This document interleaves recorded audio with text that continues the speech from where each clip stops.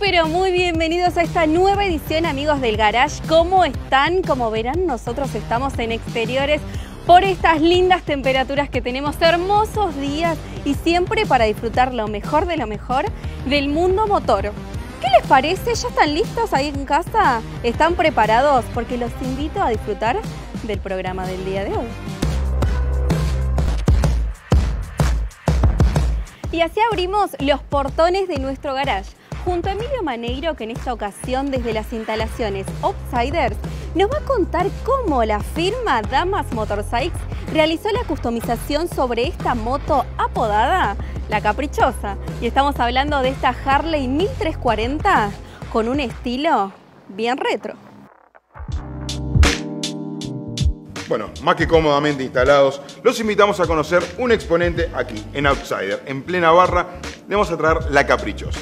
Vamos a partir de la base de un motor 1340, un chasis Softail del año 1998, con una estética muy, muy, muy, muy cuidada en todos los detalles. Desde los componentes de lo que es la ciclística, cambiando el aco por una horquilla Springer, hasta esas cubiertas del estilo Firestone, bien retro, para darle esa reminiscencia de moto antigua, una moto que tiene detalle por donde se mira. Así que vamos a verlo.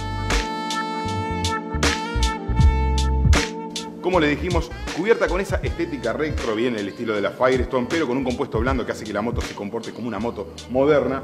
Las llantas pintadas de muy, con muy buena pintura, de muy buena calidad, tanto rojo como eh, adelante como atrás, le hace efecto de, si se quiere, de hot road, bien de moto rockabilly, de bien años 70, de por medio, años 70 y años 50 una horquilla Springer artesanal con un bifaro bien de los años 70 con los prismas en amarillo antiniebla que le da ese detalle de una moto que tiene un buen tiempo rodando con mucha historia por medio, pero es una moto bastante moderna.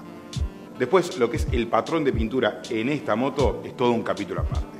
Hay varios estilos diferentes, varias técnicas diferentes de pintura en un solo tanque combinando colores candy, combinando todo lo que es la aerografía, algún detalle también con un fileteado a mano, que la verdad que la moto le da una terminación final simplemente perfecta.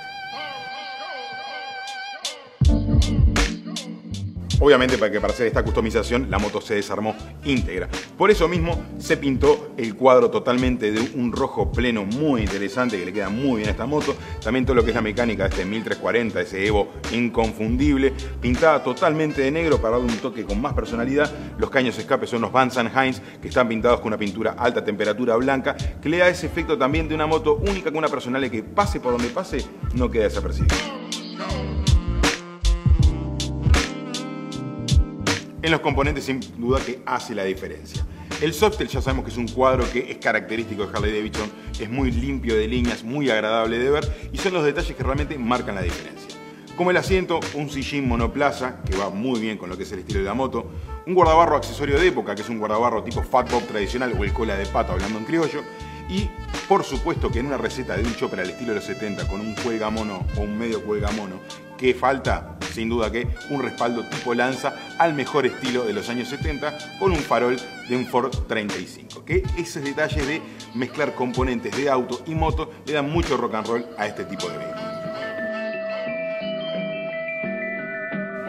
Y de este modo tuvieron un mano a mano con La Caprichosa y lo disfrutaron por el Garage TV.